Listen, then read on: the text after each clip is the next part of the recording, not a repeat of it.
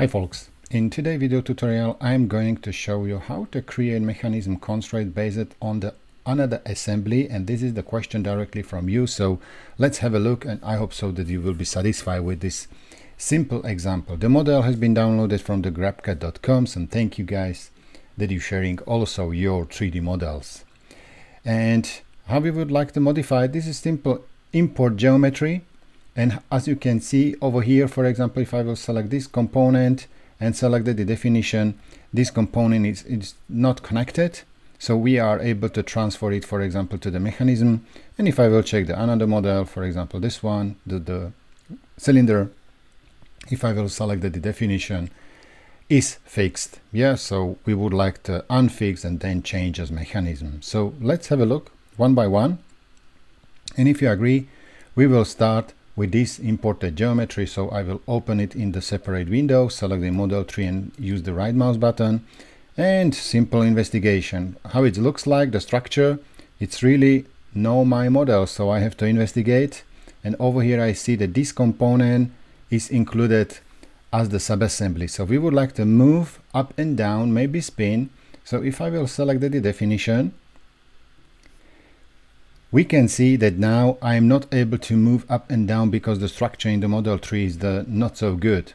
Yes, so what we need to do is that this component I would like to move on the bottom of the model tree because somewhere on the bottom we would like to have all components included. So now if the object is really at the bottom, everything is before created and mounted and constrained. So if I will select the definition now, we can have a look and move it away.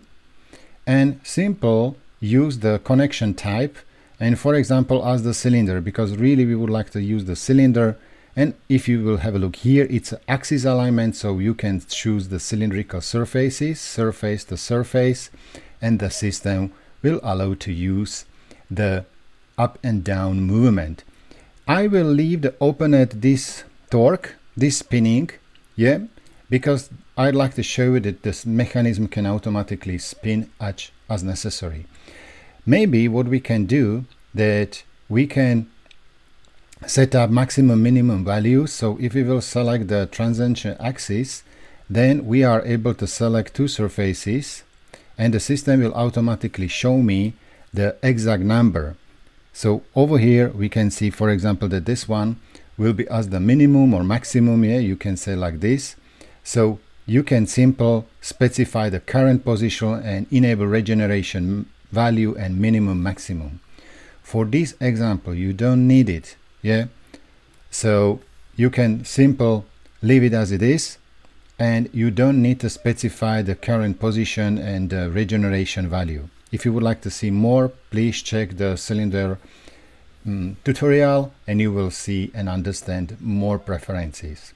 So for now, simple really, only surface to surface and finish. And if I will finalize it here, we can see that over here, this position is modified. Yeah. So if I would like to use the dragger, we can simple to select and move up and down or spin. That's okay. But we would like to also make the mechanism that this top assembly will be moved and also whole cylinder will be moved yeah? Because if it will move up and down the angle has to be changed. So really it's connection and mechanism constraint between more assemblies. So we will select the component the system will show me which assembly I have to update and make the placement. So we can simply select the definition. I will spin the model. And now over here what do we need to do? We have to specify these connections. So now we will reuse the pin connection. And as as you can see here the first connection is axis alignment. So I can move it away a little bit. And we can specify that cylindrical surface to cylindrical surface or axis to axis. So now the axis is defined. And now we have the one movement to the left to right. What I'm using it's a control alt and right mouse button. So I am able to move it to the left to right and if I will use the control alt and middle button I can spin. Yeah? Maybe you know but it's only for information. Also you are able to use the dragger but if you don't use the dragger you can spin off yeah? And then you can move control alt and right mouse button and middle button. Fine. So transition, we would like to specify that this surface is connected over here. And again, based on the dimension, you can specify the distance and specify that it's the 0.5 millimeters or something like this. So it's up to you. Yeah. For now, we can simply leave. It is really uh, constrained to real zero. So for now, everything is connected. Connection definition is complete. So we are able to move up and down. Yeah, you can see here. And if I will finish OK, what we can see that now these screws are not connected properly. So if I will move with this assembly, the screw are not connected. And again, as I mentioned, it's an imported geometry. So if we would like to have a look here, and this component will be found founded, and if we will select the definition again, what we are able to do, we can specify new constraint, and now I will do not use the mechanism constraint, but con, con current constraints. Yeah, what does it mean? Really surface to surface and will be specified as needed. So if we will specify like this, it's fine. But what we can recognize that maybe the washer will be better to place as the first one and then directly to the washer connector screw. So doesn't matter, you can cancel, you can select washer and select edit definition. Yeah, one more time, I didn't select it from the model tree. Edit definition and again, you can use the standard connections and specify the surfaces. If you would like to use the constraints like here, it's perfect. So you can see that is the standard constraints. Also, yeah, the first object is there. Another one, we can specify it at the definition and again specify and select surfaces. So surface to surface, we'd like to move it a little bit and make the distance to constraint zero. You can still see that I am using the Control Alt right mouse button, middle button to moving. Yes, so for me it's much faster like use the dragger, but also if you are beginner, you can use the still dragger. And also the last but not least is the screw. So we will select the screw and uh, the definition and again surface to surface. I think that would be better to select the surface from the washer. And if I would like to select the proper screw, surface, I can move it away, or you are able to open separate window and choose the surface from the separate window. This is everything how you can do it. And also you can spin the model and specify the necessary distance and so on and so on. So if we did everything fine, we are able to finalize and finish last component. So select the definition, select surfaces, and also connected surfaces. Yep, distance, coincident, finish. So what does it mean? Now, if I will have a look in the model tree, the over here you can see only the rectangle.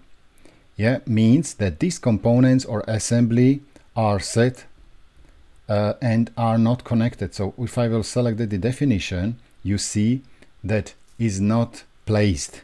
So what I can do, I can really fix this position because I do not know the proper value and the system will fix this position to default coordinate system. That's great. Then we are able to continue in the model tree and over here you will find the square with small dot. What does it mean? This component is mechanism.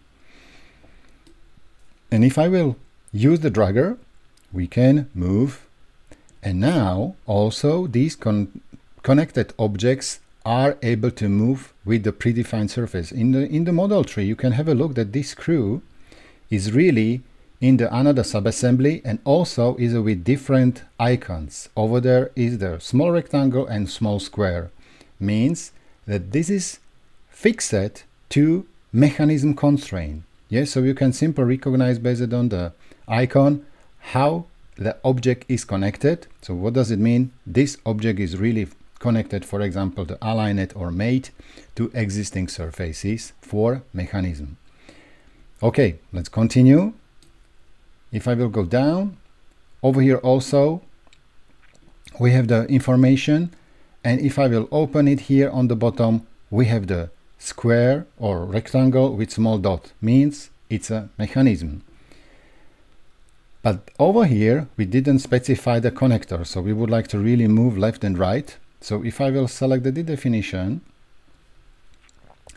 and we can see here that how the mechanism is working. So this is mechanism inside of the assembly, but we would like to use and move the whole assembly. Yeah? So if I will go here, this whole assembly we would like to move based on this position. So select the definition for the whole cylinder, cylinder assembly, edit definition.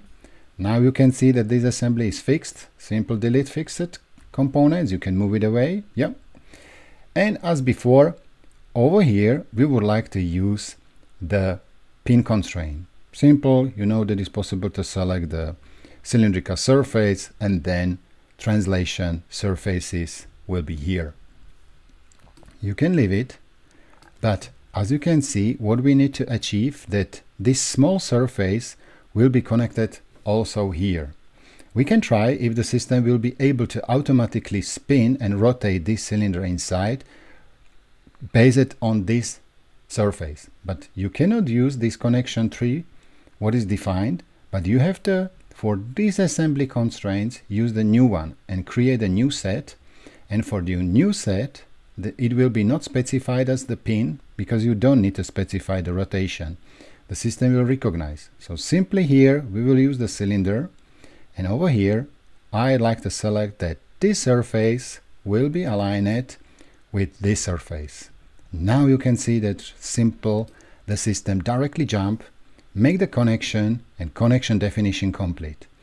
So for this valve, we have a two constraints, connection pin, specification on the bottom, and then cylindrical cylinder connection between the surfaces. If I will finish OK, and now we would like to move, you can choose what you would like to move, yeah? We can drag for these components and you can see that system is automatically working and also the mechanism, yeah?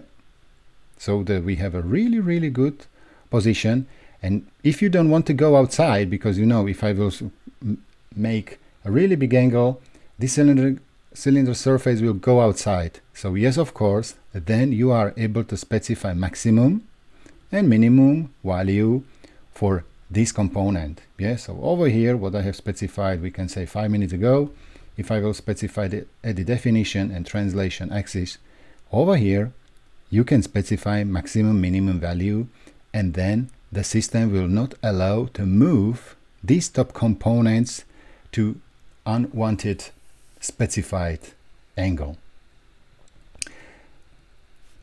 Or also, you can do it opposite.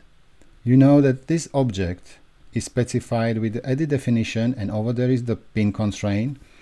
And also you are able to specify the angle. Yeah? So if I will select the rotation axis and we will specify two surfaces, the system will show me actual angle and you can choose and again specified. Zero position so for example our zeros position will be for example this minus 100 we will set 0 and then you can specify minus 16 or plus 15 yeah something like this. So then you can use and specify minimum limit and maximum limit. But much more information how to specify the maximum minimum I will show you in another tutorial because over there I directly get the question how to work with minus 190 or 220 if we will we are able to see here only minus 180 but let's continue with another tutorial. Over here in this example I really try to answer to your question how to make mechanism constraints between two or more assemblies and understand the information and visualization icon in the model tree. Thanks for your question. Stay tuned and bye bye. Vladimir.